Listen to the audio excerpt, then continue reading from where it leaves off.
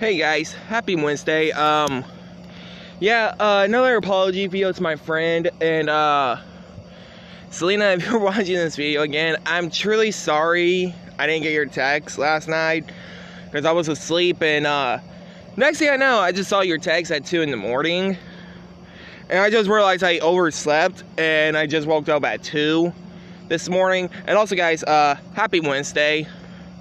Hey, I uh, hope you guys have a excellent Wednesday. But yeah, I was sleeping, and, and then uh, um, I'm truly sorry. I, this is like the second time I'm owing you an apology. Uh, I wasn't busy or nothing. I was just sleeping, and then car, car. But uh, the problem was I didn't even know you was texting me until I woke up.